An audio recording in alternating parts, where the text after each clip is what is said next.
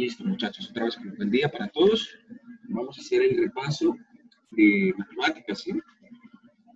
Entonces, recuerden, hay unos temas que no van a salir en la bimestral. ¿Cuáles son? El de sistemas de ecuaciones, 2x2 y 3x3, lo primerito que vimos, ¿sí? Eso no va a salir. Únicamente vamos a ver lo de función cuadrática. ¿Listo? Aquí en esta guía podemos ver específicamente cuáles son los temas, tanto para matemáticas, geometría y estadística. Aquí lo ven, ¿listo? Esos son los temas. ¿Listo? Para que lo tengan presentes. Ahora, recordemos que es una función cuadrática, ¿listo? Una función cuadrática o una función parabólica es una función polinómica de segundo grado o de grado 2. ¿Qué quiere decir esto? Que su exponente más grande es un 2, ¿sí? Y se compone o está escrita de la siguiente manera. Y va a ser igual a x al cuadrado más bx más c, donde a, b y c son valores reales. ¿sí?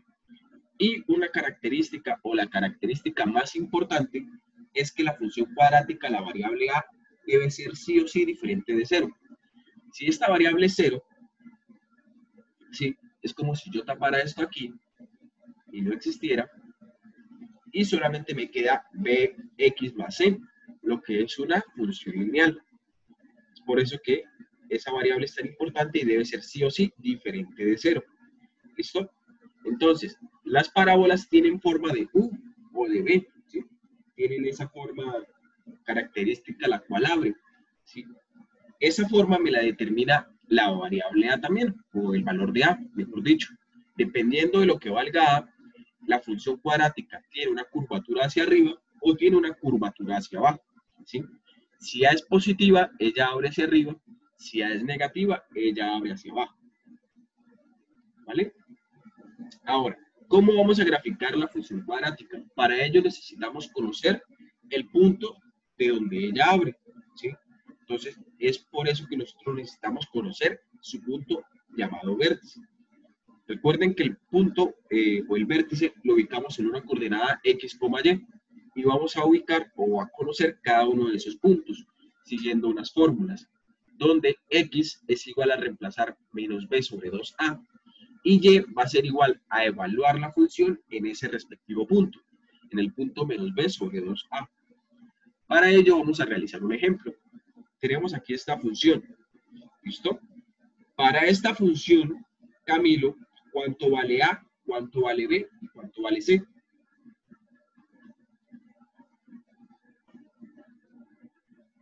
A vale 2X. No, solo el número, Camilo, sin la X. 2. No, no es 2, es otro número. ¿El 3? No, señor, no es 3, es otro número. No es 3. Es menos 2. Camilo, tenga en cuenta el signo también. Es por eso que no es 2, Camilo. Es menos 2 por tener en cuenta el signo. ¿Cuánto vale B, Camilo?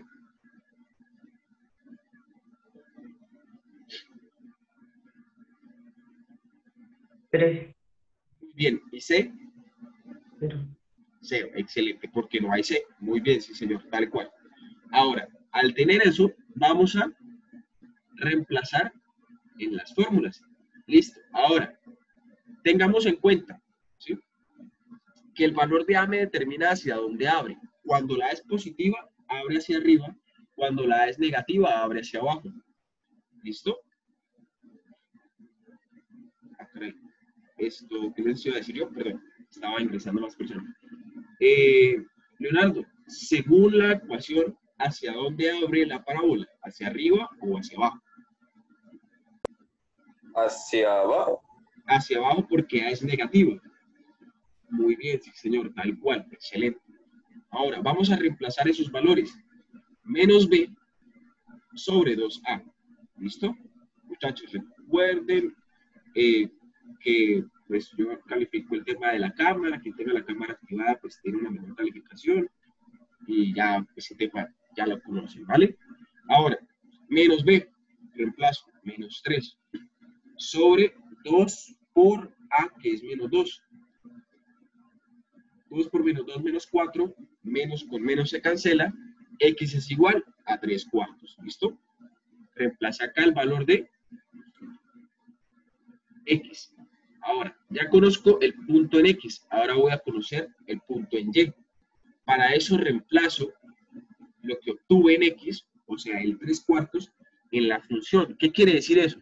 Donde vea la X, lo voy a reemplazar por 3 cuartos. ¿Listo? Entonces, tengo acá lo siguiente. 3 cuartos elevado al cuadrado. ¿Listo? Opero esto. Recuerden que el exponente eleva tanto al numerador como al denominador. 3 a la 2, 9. 4 a la 2, 16. Lo multiplico 3 por 3, 9. Ahora multiplico menos 2 por 9, menos 18, o aplicando acá simplificación, cancelo 2 arriba y 16 abajo, y me queda menos 9 octavos. Sumo estos fraccionarios y me da como resultado 9 cuartos. ¿Listo? Hago este análisis tan rápido o continúo así porque es algo que no, no entramos a analizar con profundidad porque es algo que ya conocemos, algo de una suma de fraccionarios, ¿listo? Así que ya conozco el punto, el vértice, que son 3 cuartos, coma 9 cuartos. Para ello, hago una tabla de valores, ¿cierto? Tabulo, para conocer los puntos en los cuales debo ubicar mi, mi gráfica, uno de esos puntos formando siempre una curvatura o una parábola, y grafico mi función. ¿Listo? Pero ¿qué pasa? Como la bimestral es vía online, ¿cierto? Que se realiza por la plataforma de Quizzes, eh, no deben realizar este proceso. Lo que deben hacer, pues, es eh, calcular el vértice y según las imágenes que estén ahí como opciones, pues ustedes marcan, ¿sí? Ah, ok, ¿cuál es la gráfica? ¿Será la A, la B o la C? No debemos graficar esta vez, ¿listo? Debemos tener en cuenta eso. Ahora, otro punto que vamos a ver son las raíces de una función cuadrática. Eso lo, insistimos mucho, ¿sí? Realizamos bastante. Entonces, una función cuadrática, ¿sí? Eh, dependiendo de cómo esté escrita su ecuación, puede tener una o más raíces. Una o dos, no una más, una o dos raíces. ¿Cuáles son esas raíces? Son los valores que cortan al eje Y. Miren, acá tenemos raíz 1 y raíz 2. ¿Listo? Esos puntos que, con la cual la función cuadrática, la parábola, la gráfica, la curva, corta el eje X, son denominados o llamados raíces. ¿Listo? Vamos a ver cómo lo obtenemos. Para ello, nosotros debemos implementar o utilizar la ecuación llamada la función del bachiller, la cual es igual x, o la raíz va a ser igual a menos b, más o menos raíz de b al cuadrado, menos 4ac sobre 2a. ¿Listo? Vamos a emplear esta función para conocer las raíces. Esta también la van a utilizar ustedes. ¿Por qué? Porque hay un punto o puntos de, la bimestral donde le dicen cuál cuáles son las raíces de la función. Ustedes utilizan la ecuación, listo, hacen los reemplazos, hayan x1 y x2 y es todo, ¿vale? Aquí tenemos un modelo. y es igual a x al cuadrado más 8x más 12. ¿Listo? Por favor, Benji. Benji, yo la vi por acá. Sí, Benji está acá. Benji, dime para esta función cuadrática, voy a señalártela, cuáles son los valores de A, de B y de C. Para esta.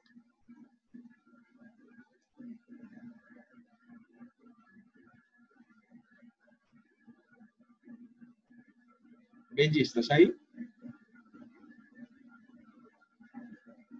Sí, profe, estoy. Dime, ¿cuánto vale A, cuánto vale B y cuánto vale C?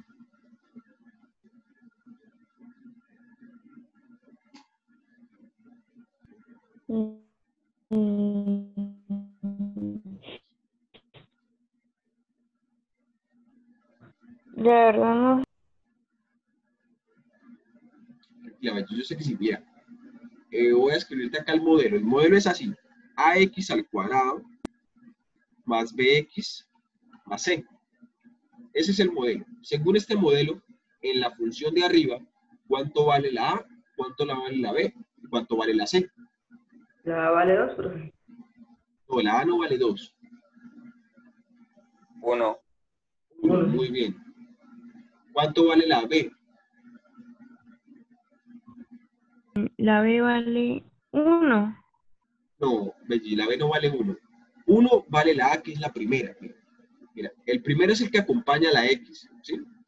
Entonces, por ejemplo, A, Sí. X al cuadrado. Vale 8. Ah, exacto, Rafael, muy bien. Más B, el segundo es B, 8X, más C, que es 2. Entonces, A es 1, como dijo Leonardo, B es 8, como dijo Rafael, y C son 12, es 12. ¿Listo? Muy bien. Ahora, Ah, lo que sí debo hacer, dale, bello, es reemplazar esos valores de A, B y C. ¿En dónde? En la función del bachiller, en el reemplazo, ¿listo? Menos B, más o menos B al cuadrado, 8 al cuadrado, menos 4 por A por C, 4 por 1 por 12, sobre 2 por 1, ¿vale? Entonces vamos operando, operando, operando, operando, operando, operando, y yo llego a dos posibles respuestas, pero ¿cuáles son esas dos? Cuando hagamos la raíz, ¿sí? cuando saquemos la raíz, vamos a encontrar eh, dos posibles respuestas, una para el signo positivo y otra para el signo negativo. Es por eso donde ustedes eh, separan y dicen x1 y x2. ¿Listo? Van a encontrar x1 y x2 con cada uno de los signos, en este caso eh, 8, menos 8 menos 4 y luego menos 8 más 4. ¿Listo? Hacemos esa operación o ese análisis. ¿Listo? Y encontramos los valores de x1 y x2. No solamente pueden ser valores enteros, también puede ser un fraccionario o una misma raíz. ¿Listo? No hay ningún problema. Pero de esta manera nosotros encontramos nuestras raíces. ¿Listo? Ahorita que finalicemos aquí la guía, realizamos un par de ejemplos. No se preocupen. ¿Listo? Muchachos, eh, acá, al sacar la raíz, ¿alguien tiene alguna duda, alguna pregunta? ¿Alguien que no haya quedado claro en guías anteriores? En las clases, algo que quisiera consultar, por favor. Recuerden que nuestra última clase antes de la bimestral, ¿vale?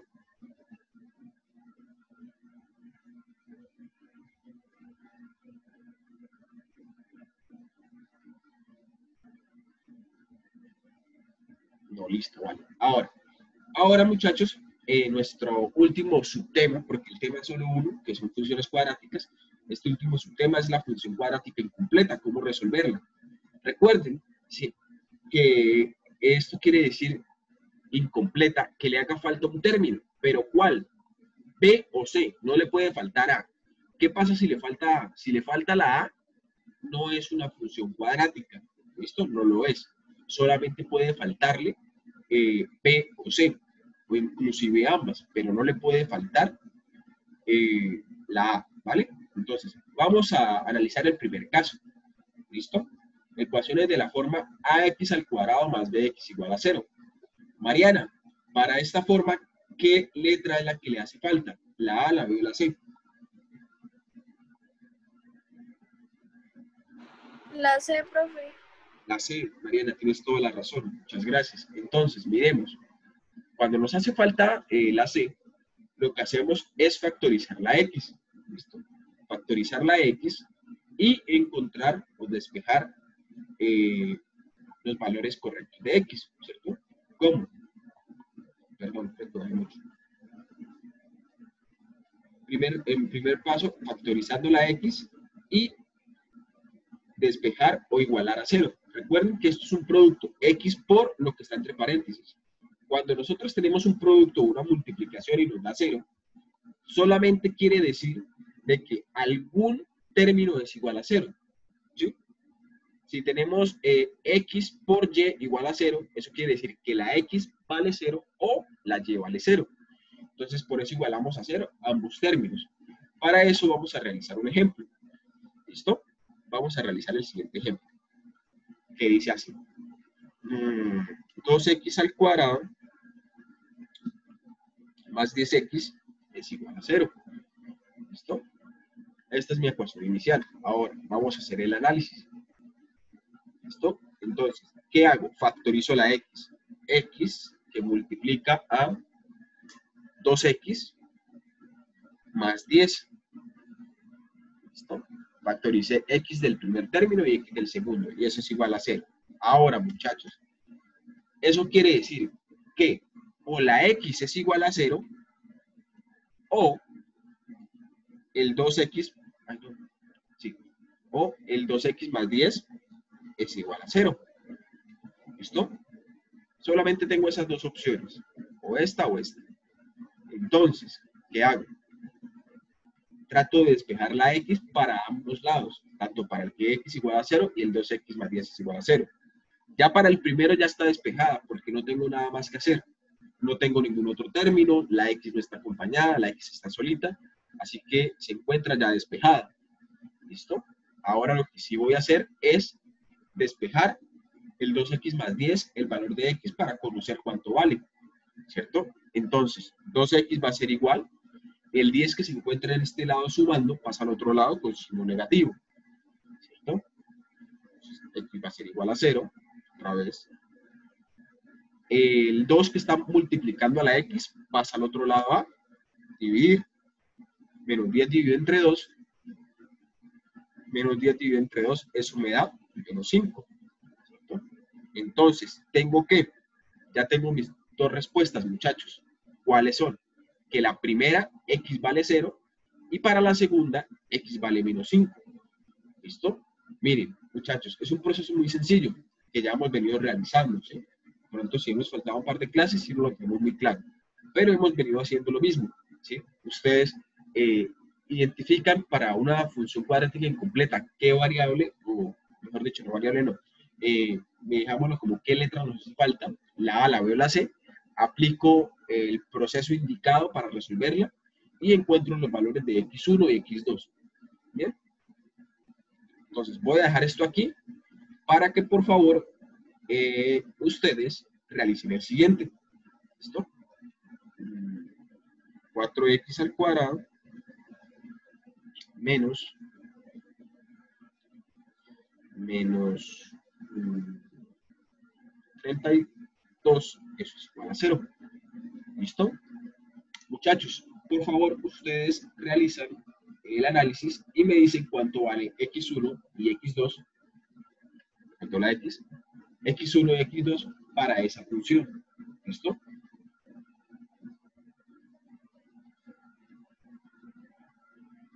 Se envían del modelo de arriba. Yo los espero un momento. ¿Listo?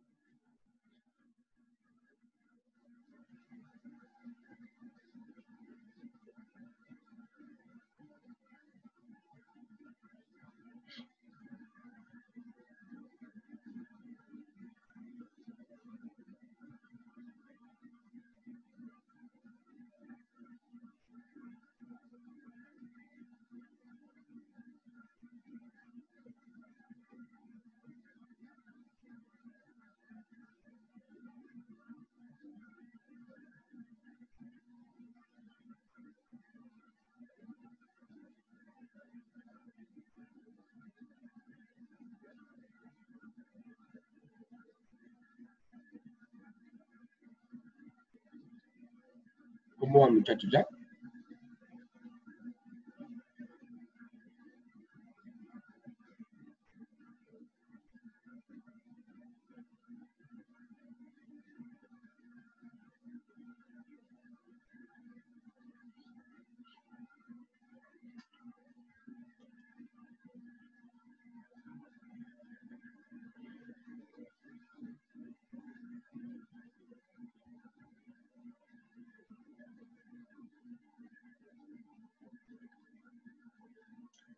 Caso de que no, o si lo estamos haciendo, vamos a, a volver a hacer el análisis. ¿Listo? Entonces, tenemos acá 16. 16, pero me está dando solamente una, Leonardo. Deben ser 12. X igual a 0 y el otro X igual a 16. Listo, y X igual a 16. ¿Listo? Listo. Vamos a corroborar esas respuestas de Leonardo. ¿Listo? Entonces, hacemos lo siguiente. ¿Listo? Otra vez, como el modelo es la de arriba, ¿cierto? Entonces, factorizo la x, que multiplica ¿qué? A 4x menos 32. Y eso va a ser igual a 0. Entonces, para ello, como da igual a 0 una multiplicación, solamente hay dos respuestas. O que x es igual a 0, ¿sí? o que 4x menos 32 sea igual a 0. ¿Listo? Ya tengo una respuesta, la de x igual a 0. Voy a tomar la segunda. Entonces, 4x va a ser igual a 32. Paso el 32 para el otro lado de la igualdad. ¿Cierto? Ahora, ese 4 que multiplica la x pasará al otro lado a dividir al 32. 32 dividido entre 4, ¿cuánto me da, muchachos?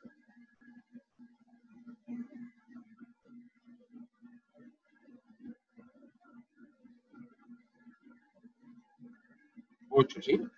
No, 16 es 8. Con lo cual tenemos dos respuestas. La primera, Leonardo, x igual a 0 y x igual a 8. Perdón, x igual a 8. Y terminamos. El- ese tipo de ejercicios consta de esto, muchachos, ¿sí? De que ustedes encuentren los valores de x1 y x2. Otra vez, las raíces. Pero esta vez para una función incompleta. ¿Listo? Este es el primer modelo. Entonces voy a borrar, ¿vale? Ahora, el segundo tipo es este que tenemos acá. Que dice ax al cuadrado más c igual a 0. Mariana, ayúdame otra vez acá. Para este tipo de funciones, ¿qué letra es la que le hace falta? La A, la B o la C. La B. La B, Mariana, excelente, muy bien. Sí, tienes toda la razón. Ahora, miremos, ¿cómo resolvemos este tipo? Cuando nos hace falta la B, ¿sí? Eh, de- despejo la C, o sea, la paso al otro lado de la igualdad. Si hay A, que es la que acompaña a la X, pasa a dividir a la C y saco la raíz cuadrada. Recuerden que la raíz cuadrada tiene dos respuestas válidas, una positiva y otra negativa. Es por eso, ¿sí? Que x1 va a ser el resultado de la raíz positiva o negativa y x2 va a ser igual al resultado de la raíz negativa, ¿listo? Con ambos signos. De igual manera, también nos, van nos saldrá dos posibles respuestas. Entonces, vamos a hacer un ejemplo, ¿listo? Yo les escribo acá un ejemplo. Esta vez tengo lo siguiente. 2x al cuadrado menos 8 es igual a 0. ¿Cierto? Entonces, ese menos 8 que está aquí con signo negativo pasa al otro lado con signo positivo. El 2 que está multiplicando la x pasa al otro lado a dividir al 8. Y 8 dividido entre 2 me da 4. ¿Cierto? Eso me da 4. Así que aquí, muchachos, saco la raíz. Entonces voy a escribir, saco la raíz a ambos lados. ¿Listo? Ahora, raíz de x al cuadrado me da x. ¿Sí? Y raíz de 4, ¿sí? Es igual a cuánto? ¿Cuánto es la raíz de 4?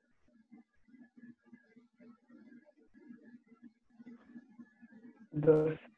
2, Camilo, muy bien. Entonces, x1 va a ser igual a la respuesta negativa y x2 va a ser igual a la respuesta positiva. ¿Listo? Entonces, x2 va a ser igual a 2. Miren, muchachos, entonces sacamos la raíz al resultado que nos dé. Perfecto. Bien, Voy a dejar acá, este acá arribita, vamos a hacer otro. ¿Les parece? tenemos lo siguiente. Tenemos esta vez eh, mm, 4x al cuadrado, ¿sí? Menos 9, eso es igual a 0. Entonces, el 9 que está al otro lado por el signo negativo. Pasa después de la igualdad con signo positivo. El 4 que multiplica la x, ¿cierto? Pasa al otro lado a dividir. 9 dividido entre 4 eh, no tiene respuesta exacta. Entonces saco la raíz, ¿sí? Y tengo lo siguiente, que x1 va a ser igual, ¿sí? Raíz de 9 me da 3 y raíz de 4 me da 2.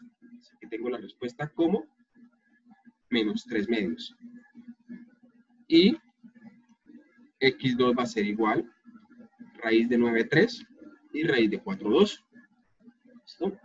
Ahora utilicé fraccionarios, ¿sí? Ya no me dio una respuesta entera, pero sí puedo sacarle la raíz a los fraccionarios. Saco raíz al numerador y raíz al denominador. Perfecto. Y de esta manera resuelvo eh, este tipo cuando me hace falta la letra B. Muchachos, pregunto, ¿cómo vamos? ¿Qué tal vemos los ejercicios? Eh, ¿Estamos claros? ¿Tenemos alguna pregunta? Por favor, los escucho.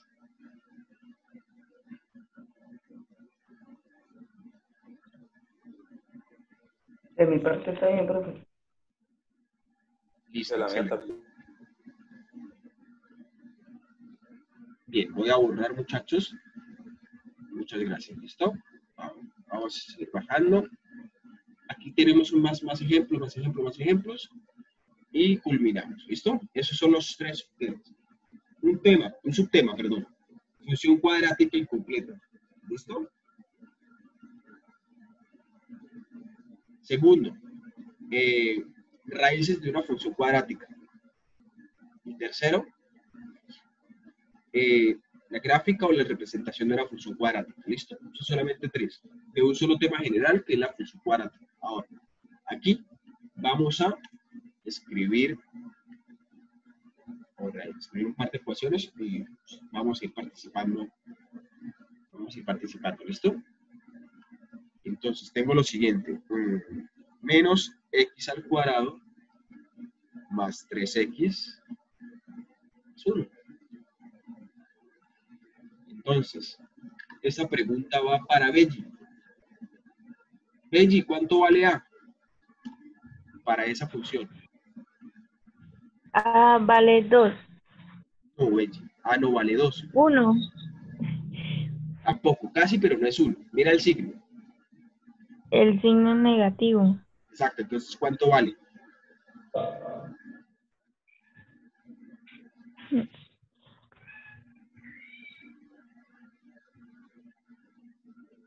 Belli, o sea, sí es 1, pero con signo negativo. ¿Cuál es ese número? Vale menos 1. Exacto, Belli, menos 1, muy bien. Belli, ¿cuánto vale B?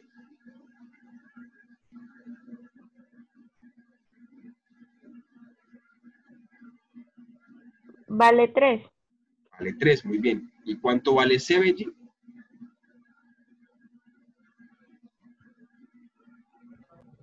Vale 1. Vale 1, muy bien. Gracias. Carlos, ¿esta función cuadrática es una función completa o incompleta? ¿Le hace falta alguna letra o no le hace falta las letras? Está completa. Gracias, Carlos. Excelente, muy bien. Vamos a hacer otra vez. Acá, mm, x elevado al cuadrado, eh, más 9x más 20. ¿Listo? Bien. Jesús, ¿cuánto vale la A?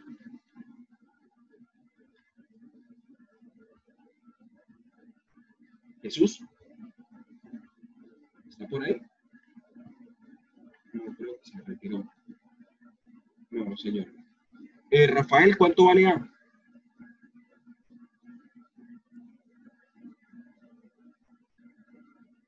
Señor, Eh, para esa función cuadrática, ¿cuánto vale A? A vale 1, Muy bien, ¿cuánto vale B, Rafael? 9, C, 20. 20, sí señor, muy bien, excelente, muchas gracias. Ahora, muchachos, vamos a hallar las raíces. ¿sí? Ahora, antes de eso, eh, Camilo, ¿la función que está escrita ahí es completa o incompleta? Completa, profe. Gracias, Camilo, sí señor. Ahora, vamos a hallar las raíces, ¿listo? Pues para eso va a tocar es emplear acá el lápiz, ¿listo? Entonces, x va a ser igual a menos b, más o menos, la lentitud,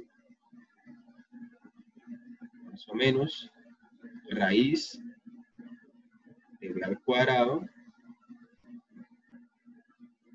menos 4. Porfa, alguien, si tiene la calculadora a la mano, eh, me ayuda a multiplicar esto, 4 por A por C. Si no, mientras lo voy copiando, porfa, que alguien vaya por la calculadora. ¿Listo? Sobre 2A. Entonces, muchachos, ya tenemos la ecuación, ¿cierto? La ecuación del bachiller. Con esta vamos a poder sacar las raíces. Solamente necesito reemplazar los valores de A, B y C. Que x va a ser igual. Menos b. ¿Cuánto vale b? 9.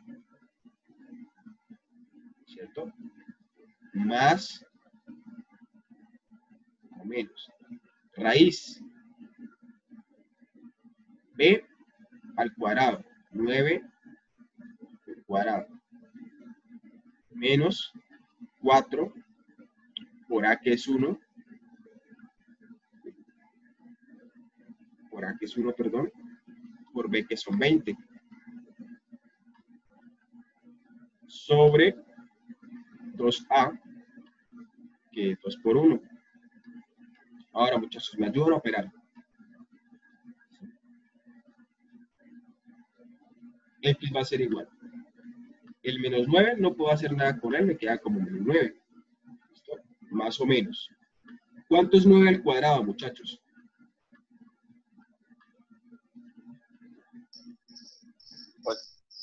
81.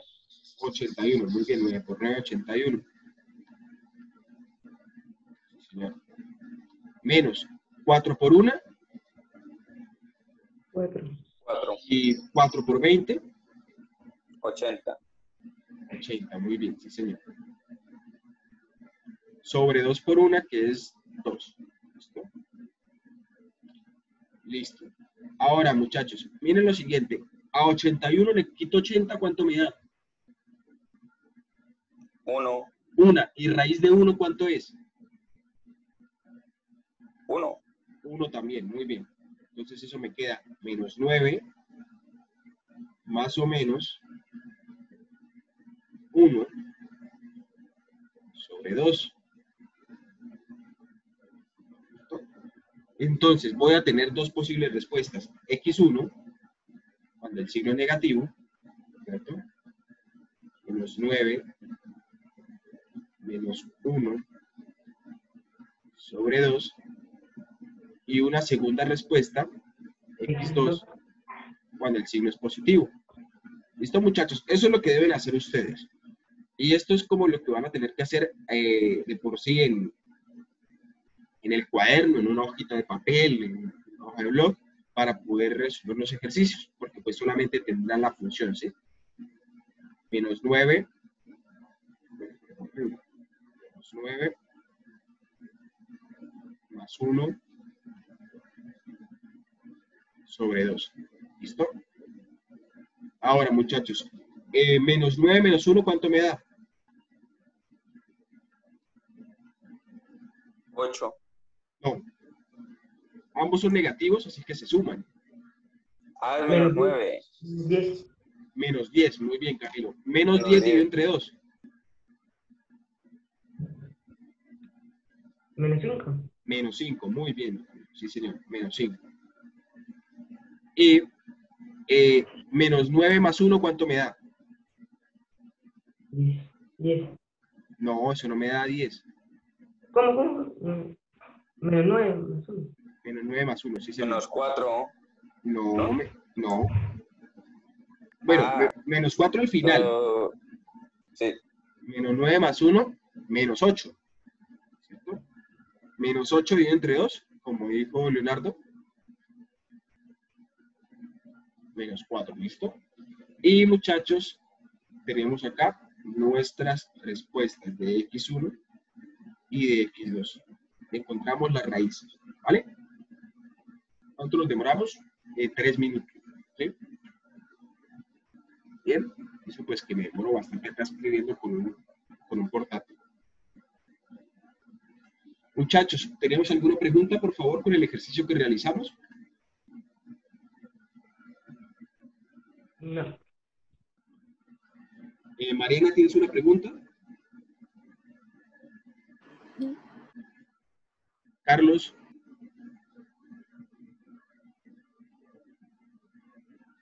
Señor, que si tiene alguna pregunta.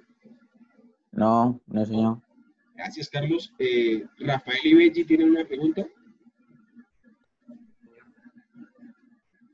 No, profe. Listo, muchachos, perfecto. Bien. Bueno, entonces dejemos hasta aquí, ¿vale? Eso sería todo lo que tenemos por hacer.